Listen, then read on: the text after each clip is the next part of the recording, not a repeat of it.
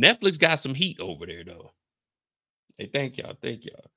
Netflix got some. They got some documentaries over there. Was another one that I was watching. Uh, I was going. I was going to do the breakdown of the man with a thousand babies, but I had watched that, went to sleep, and I forgot. I think I was on like baby number fourteen. I forgot where the hell we was at. But anyway, we'll get into it. But let's talk about lion ass Carlee Russell. You know, she only got a little bit of time in jail, but we got us a little update on it. Let's see what they talk about. I think they're gonna give us like an overview, and then from there, I think they got like an Instagram post from her or something. I'm gonna, I'm still gonna DM her again because she never opened up the last message. We're gonna try to get her on the channel and just ask her a few questions. Maybe not about what happened because we knew she was lying, but more of why did you lie? Why did you do this? Why? Why did you lead on millions and millions of Americans? Why would you do that? It'd be your own people. It was a case that stunned the nation. She claimed that the man then picked her up and she screamed. He stated he then made her go over a fence. She claims he then forced her into a car, and the next thing she remembers is being in the trailer of an 18 wheeler. There was no kidnapping on Thursday, July 9th, 13th, 2023. My client did not see a baby Damn, that was a year ago. Why not? I could have sworn this happened in like March. July. Oh, I was in Kansas City when it happened. I could have sworn this happened like this year. I couldn't believe this was a whole year ago. Damn, I forgot all about that. I guess we did need this update. Side of the road. Now, the Alabama woman who was at the center of the kidnapping hoax is speaking out after more than a year. Anytime you hear of an individual uh, claiming they were abducted, um, and then finding out later that this was simply false um, is is is troubling. Carlee Russell was 25 years old when she called 911 and then spoke to a family member saying she saw a young child walking on the side of an interstate in Hoover, Alabama, just outside of Birmingham. She told her sister-in-law she was pulling over to check on the child. With the phone call still remaining open, she never returned to the phone, but her sister-in-law heard a scream before the phone went silent. Officers would arrive to the location where she placed the call, and that's where they would discover Carlee's red Mercedes with the engine running along the interstate. However, police were unable to locate Carlee or the child in the area. I mean, just thinking, just thinking back on this, if I seen a baby on the side of the road,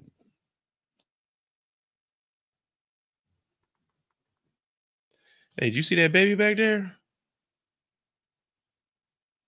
I'm keeping it pushing. I automatically think a baby on the side of the road is a setup. Like, why is a baby on the side of the road? Maybe that's me. Maybe I don't want to get kidnapped or anything. Well, uh, uh, I don't want anything to happen to me. My job is to get up, do what I gotta do, and make it home. But if I seen a baby, I don't like, that baby doing? It's kind of late for that baby to be out. Nah, oh well, to each his own. I'm keeping it pushing. The car door to Carlee's car was found open, with some clues left behind, including Carlee's cell phone. Officers noted during their investigation no children had been reported missing in the area. Her disappearance sparked a frantic search effort to locate the missing nursing student, and police even offered a $25,000 reward. But then a remarkable development in the case. Carlee mm. returned home on foot nearly 49 hours after making the 911 call. While her return would be a huge relief for Carlee's family and loved ones, investigators quickly began to discover something wasn't right, as they would say they were unable to verify most of her story and initial statement. During a press conference four days after her return home, Hoover Police Chief Nick Derzis announced on the day Carlee made the 911 call, she left work shortly before 8:30 p.m. But surveillance footage would reveal to investigators she stashed some interesting items in her car prior to her disappearance. Surveillance video from her place of employment shows Carlee concealed a dark colored bathrobe, a roll of toilet paper, and other items belonging to the business prior to her departure. She ordered food from Taziki's at the Colonnade and traveled there.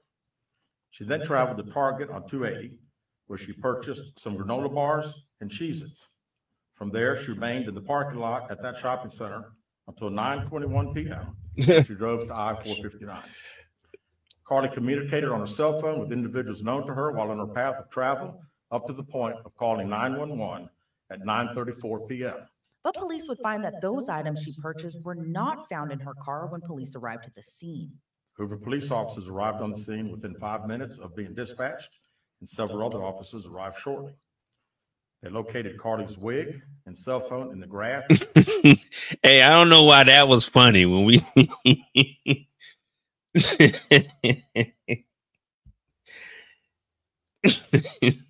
I know I'm gonna get some flack, some pushback, but I don't give a fuck. Hey, finding the wig is funny as fuck. When I hear finding the wig, the first thing I think of is like a like a iguana or something. You know, the wig is supposed to be like an escape tactic. If someone tries to grab you, you want to make sure you have a wig on. So when they grab you by the hair, they just grabbing the wig, but you can keep running. So it's like an iguana. You know, they cut the tail off that the iguana can get away. But they didn't grab the wig. They took the wig off her head, set the wig down, and said, "No, we want you." So, and then to find out she bought snacks before she went, this had to be some of the dumbest shit ever. I'm, I'm saying, just just listening to him describe all of this. Do you know how? No disrespect, but all disrespect to this woman. Do you know how stupid you have to be to, to, to leave work? Like, you know what? I'm gonna stage this kidnap. I'm gonna say I saw a baby. I'm gonna order me some snacks, get me some granola bars for the weekend. I'm gonna leave my wig. Do you know how stupid that sounds? Like, where do you do you practice this in the mirror? Like, all right, this is what we're gonna do, or do you just are you just sitting at work googling like how long does it take to come up? Like, what is the thought process? Because she wasn't drunk, she wasn't under the influence of anything. What is the thought process of this stupid shit here? Now on my channel, we got we got dumb stuff and stupid shit. This is stupid shit right here. Oh my god, man. This I just I don't know, man. I know you, you, you gotta believe them. I don't do that believing motherfuckers until I get the truth. Now I'm not gonna pass any judgment. I'm gonna give my opinion, but opinions can change. But from the get go, I knew that this was some bullshit. oh my god! Near the vehicle, her purse was located in the front seat of her vehicle with her Apple uh, Watch in the purse. The food she ordered for Taziki's was also in the car. The items she purchased from Target, as well as the items taken from her place of employment, were not in the vehicle, nor were they located anywhere around the city. Yeah, her Police boyfriend chief was leaving Burgess her. Would go on to explain when Carlee returned home on July 15th, surveillance video showed Carlee walking down the sidewalk alone to get to her house. When they got a state No, we need to see that surveillance video. We need to see how dirty her clothes were. Was her feet scraped up? We need to see if she went through a traumatic experience or not. statement from her after her return, Carlee told investigators at the time she spotted the child walking down the side of the highway. Then a man came out of the trees and mumbled he was going to check on the baby. Come here, come here, Claimed that the man picked her up and she. She stated he then made her go over a fence. She claims he then forced her into a car, and the next thing she remembers is being in the trailer of an eighteen-wheeler. Whoa, whoa, whoa, whoa, whoa! I don't remember them saying they. So they forced her over a fence. Like if anyone, they, no one's forcing me over a fence. If I get to the other side of the fence, I'm running, and then I'm gonna hop back over the fence before you hop over. So once you hop over, like now I'm back on the street and I'm in the car. You know what I mean? She stated that the male was with a female. However, she never saw the female, only hearing her voice. She Come here, also girl, get in the car with she could me. Hear a baby crying. She told detectives the male had orange hair with a big bald spot on the back. She said she was able to escape the eighteen-wheeler and fled on foot, only to be captured again and then was put in a car. She claimed she was then blindfolded, but was not tied up because the captor said they did not want to leave impressions on her wrists. She said that they took her into a house and made her get undressed. She believes they took pictures of her, but she does not remember them having any physical or sexual contact. She stated the next day she woke up and was fed cheese crackers by the female. She said the woman also played with her hair, but could not remember anything else. At some point, she was put back in Hey, we didn't we didn't get all these details last year. I don't remember all of this. I just remember the 18 wheeler and then going into a house. I don't remember a lady playing with her hair, feeding her crackers. Damn, when she got out, man, she came up with an elaborate story. But this shit just sound.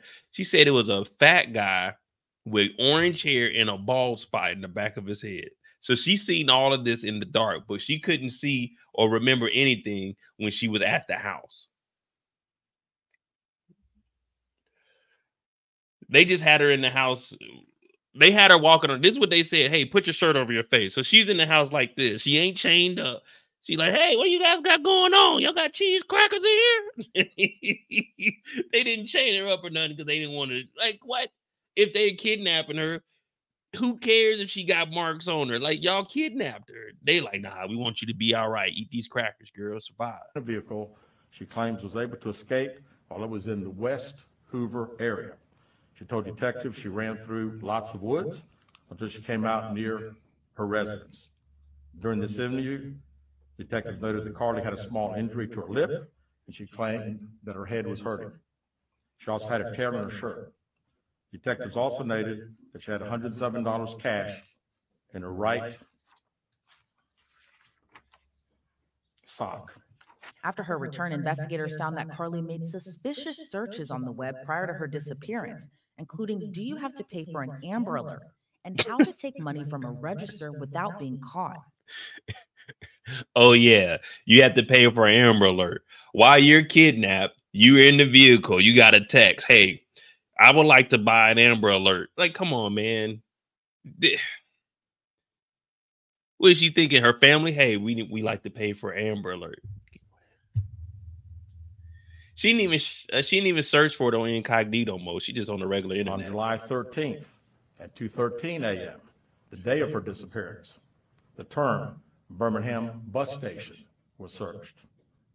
On July 13th, 2:35 a.m., a search for a one-way bus ticket from Birmingham to Nashville was conducted with a departure date of July 13th. On July 13th at 12:10 p.m., a search for the movie Taken, a film about abduction, was conducted. There were two searches later to Amber Alerts on a computer at Carlee's place of employment, including one regarding the maximum age of an Amber Alert. Although police were able to get an initial statement from Carlee, they tried for a second time. However, they weren't granted a second interview, prompting many questions at the time to be left unanswered. That is until less than a week later, when police received a statement sent by Carlee's attorney, which would reveal the entire so called kidnapping was actually a hoax. My client has given me permission to make the following statement on her behalf. There was no kidnapping on Thursday, July 19th, 13th, 2023. My client did not see a baby on the side of the road. My client did not leave the Hoover area when she was identified as a missing person. My client did not have any help in this incident, but this was a single act done by herself. My client was not with anyone or any hotel with anyone from the time she was missing. My client apologizes for her actions to this community the volunteers who were searching for her, to the Hoover Police Department and other agencies as well, as to her friends and family. We ask for your prayers for Carlee as she addresses her issue. I really hope no one wasted a prayer on Carlee Russell. And attempts to move forward, understanding that she made a mistake in this matter. Carlee, again, ask for your forgiveness and prayers. Anytime you hear of an individual uh, claiming they were abducted, um, and then finding out later that this was simply false um, is, is, is troubling. And we've heard about this uh, several times over the past several years. Um, it does make me think, eh, particularly in this case, that there may have been some type of mental health issues uh, in, in the background that may have contributed to um, this woman doing what she did in terms of making these false claims. Carlee Russell was just 25 years old at the time she almost pulled off the kidnapping hoax. But law and crime legal analyst Julie Rendelman explains there might have been underlying issues Carlee was dealing with at the time. I ain't trying to hear that, man. I ain't trying to hear that. I got a flat tire outside. Now, if I go and fake my kidnapping, they throwing my ass in jail. It ain't about to be sending prayers out to this goofy nigga Moe. It's gonna be like this nigga Moe just pulled off one of the dumbest hoax ever. They gonna throw my ass in jail. We don't give a fuck what she had going on. This motherfucker was googling. She had eight hours at work to say that this plan is not going to work all the time leading up to. She had time to go put in the order and go pick up the food to realize, all right, I'm gonna go through with this. Come on, come on, fake this, fake this. Like, no, there it ain't no underlying. This motherfucker was sane. She knew what she was doing, and she just fucked up. she just fucked up, man. So, you know, I, I think on top of what you're talking about, remember, she also was looking up online. Um, you know, Google searches about Amber Alerts. Um, so this was someone that really, in a sense, was preparing um, to commit this hoax. Um, and so uh, the age uh, is less relevant to me than the planning of it. It really does go back to uh, what goes through someone's mind uh, when they commit this type of crime. Is it someone that's begging for attention? Um, is it someone that has some kind of um, separation from reality? Um, because it really did seem to take quite an effort on her end uh, to, to commit the crime that she did. It's still unclear to this day where Carlee was during her missing 49 hours. In the woods. Carlee herself would reveal more into her mindset nearly a year later, as she spoke out for the first time since the kidnapping hoax in a post to social media. As she celebrated her 27th birthday, she wrote, I wasn't going to make a birthday post, but I would be remiss not to publicly acknowledge the good Damn, so she was 25 when it happened, 27. Now her birthday must have been like right after. God has shown to me. He not only allowed me to see another year, but he changed the trajectory of my life from the negative place I was in this time last year. To those who have been there for me, your kindness and support have meant the world to me. Whether it was a text, call, direct message on social media, post, prayer, thoughtful gift, or words of encouragement, nothing was too little, and each helped me to fight to live another day. Thank you sincerely for helping me find the light in the darkest of moments. You know, your darkest moment was when your ass was in those woods. your darkest moment was when them police came to the house and said your ass is under arrest. She would end the post by saying, The work is not finished yet. But as I step into this next year of my life, I am filled with hope and optimism toward continuing to overcome challenges, cherishing those who cherish me, and embracing the future and God's plan for my life with an open heart and mind. So let me, I, I, well, we know it was a hoax, so we can clown all we want now. But when she said gone, uh, uh, she said, I would like to be remiss not to publicly acknowledge the goodness. I mean, I would be remiss to acknowledge the goodness God has shown me. Listen, when you were in that car, God was saying, Don't do it. Think about your future. Don't do it. Keep the wig on your head. Get back in the car. Don't do it. You weren't thinking about God when you was out here acting a damn fool. Talk about changing the trajectory. You changed the trajectory of your life. Ain't no one about to hire your lying ass. You are a felon. Talking about happy birthday to me. Nigga, fuck your birthday. happy 27th birthday to me. I mean, you know, some might argue that it would have been nice to hear, I'm sorry um, because um, that's something um, that law enforcement family and then those watching this um, and worried about her would have wanted to hear. At the same time, I think it's an acknowledgement that at the time that she committed this crime, she was not in a good place mentally. It could be an indication, you know, sometimes uh, without going further, without knowing more, that she could have been potentially in a suicidal state at that time, not in her right mind. I'm grateful um, to God that she kind of was able to get through it. And I'll be honest, she also made me very grateful that she avoided jail time because remember, this was a case where she was potentially going to jail uh, for at least a year and she ended up getting probation. So I think she may be very thankful um, that she is able to move on with her life. In March of this year, Carlee Russell was able to avoid jail time after pleading guilty to two misdemeanor counts of filing a false police report. As part of her punishment, she was ordered to pay back restitution and must continue mental health counseling as part of her probation.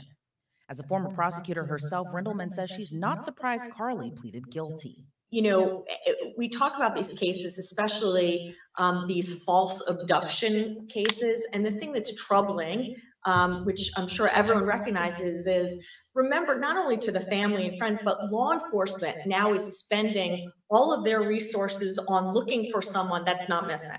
They're spending all their resources on finding the abductors when there are no abductors. And so it's incredibly troubling when resources are taken or are brought to that um, emergency when there's so many other emergencies.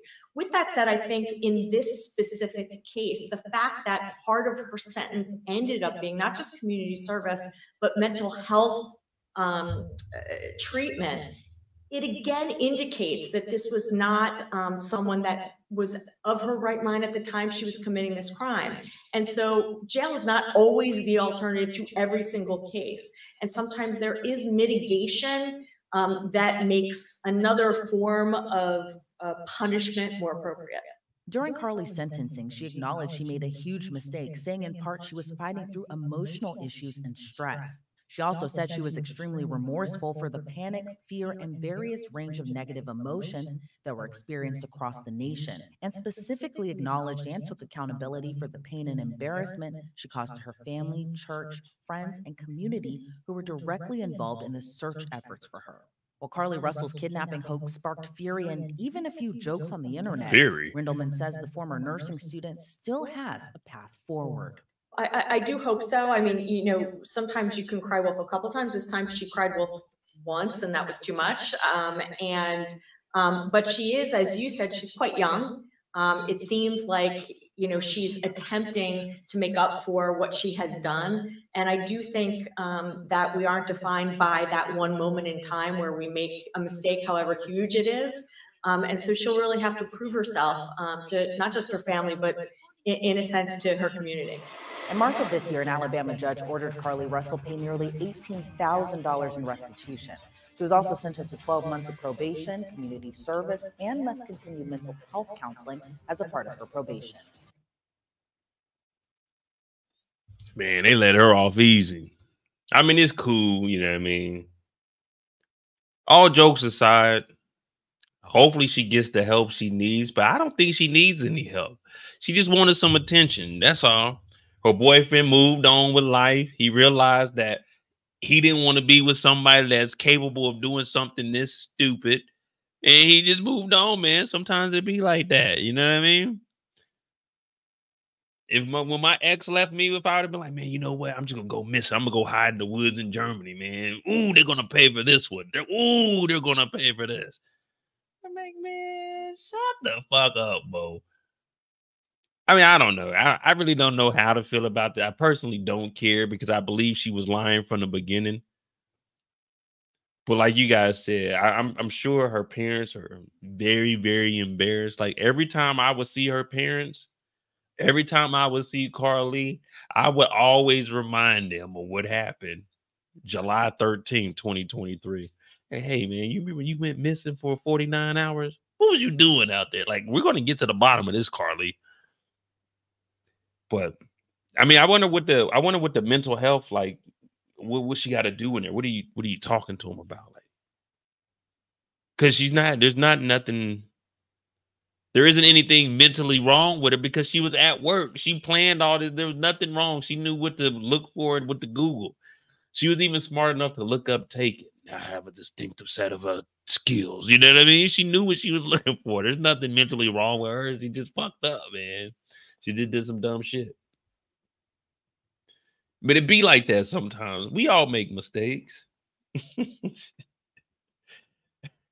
yeah, like if you're the therapist though, what are you thinking? Yeah, you're like, I hadn't seen all of this. Cause you know you gotta be, you gotta be there impartial. Just listen. Okay.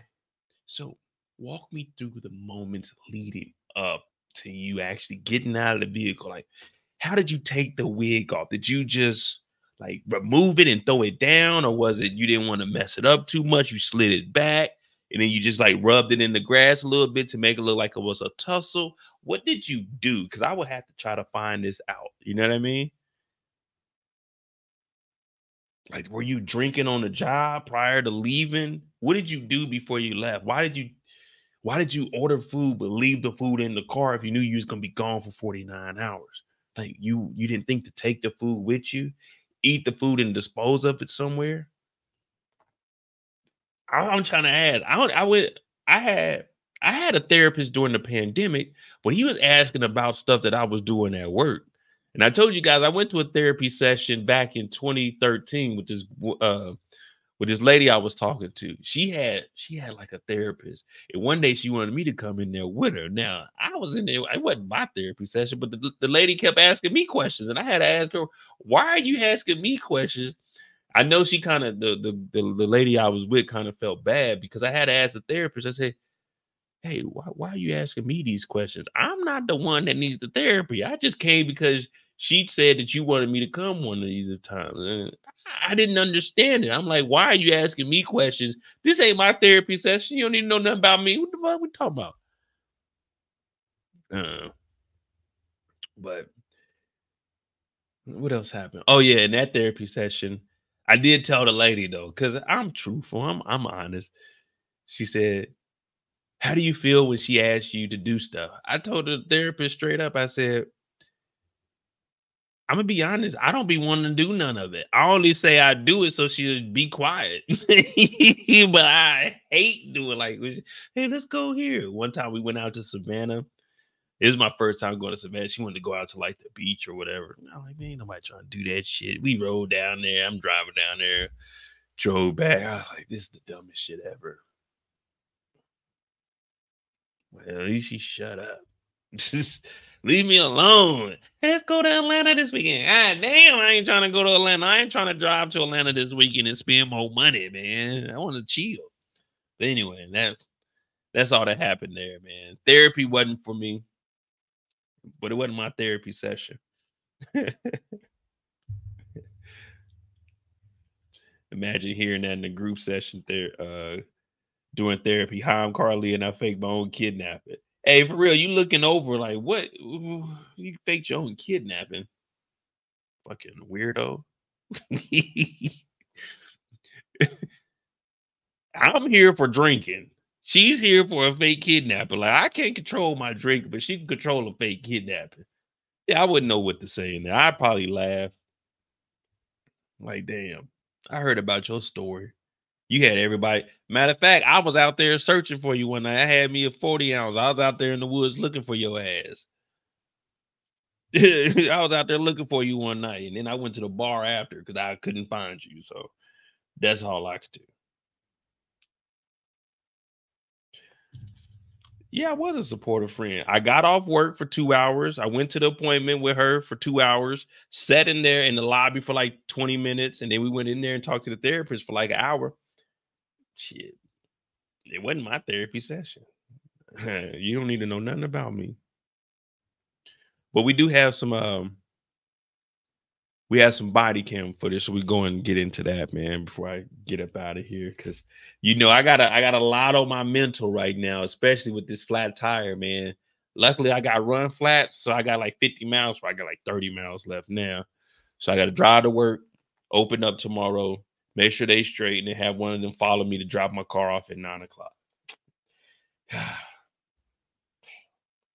if I could just kidnap myself, man, I would. Yeah, if only. Let me see. Is it done? Okay, it's about to be done now. Oh, they ain't had no snacks. They had the little water thing. You pour the little white, I mean not the white, but the little uh paper cup down.